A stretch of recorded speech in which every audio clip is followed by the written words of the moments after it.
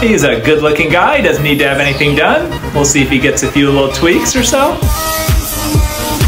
Wow, he had a lot done. Each their own, I guess.